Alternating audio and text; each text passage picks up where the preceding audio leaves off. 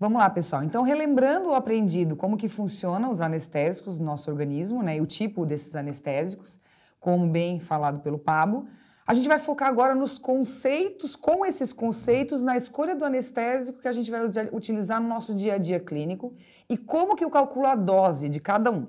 Como eu já falei para vocês, eu sigo a ideia de escolher o anestésico adequado para o meu procedimento em si.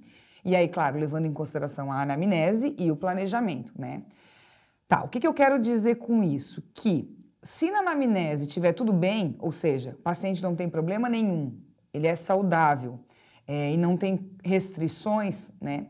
Dependendo do que, que eu vou fazer com o paciente, eu posso sim escolher um ou outro tipo de anestésico, tá? Eu já adianto que 95% dos meus procedimentos eu escolho um anestésico só. Isso por vários motivos.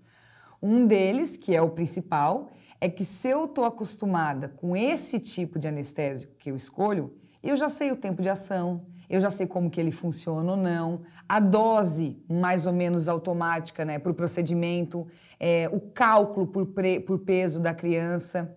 Aí, com essa variável que eu determinei, já estou segura, já o comportamento do paciente e o estado pulpar da lesão, por exemplo, eu posso ter mudanças no meio do meu caminho, certo? Então eu tiro a variável do anestésico e presto atenção só no comportamento e no estado pulpar, tá? é muito importante a condição prévia do paciente. Por exemplo, no caso, se ele pode ou não receber aquele anestésico. Isso eu levo em consideração, né? Não posso esquecer, tá? Aí depois disso vem a opção da preferência do profissional.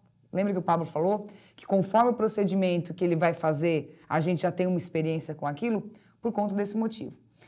Gente, é claro que com isso, com a prática, né, tudo fica muito junto. Escolher o anestésico, escolher fazer a dose, as alergias, os procedimentos, o comportamento, isso depois fica mais automático. Aqui a gente precisa dividir para ficar de uma forma mais didática para vocês, né? Mas depois é tudo muito mais automático no dia a dia clínico, tá?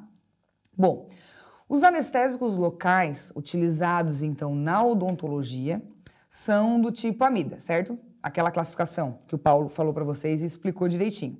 E a gente vai discorrer agora só três tipos: a lidocaína, a mepivacaína e a articaína.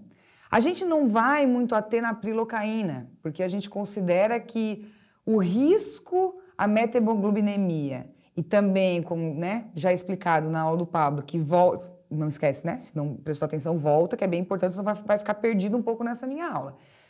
O uso dela não justifica, tá? No uso da rotina clínica, na, na rotina da nossa odontopediatria, como a gente tem os outros anestésicos tão bons quanto, né, e que acabam atingindo o nosso objetivo, a gente fica meio que não precisa fazer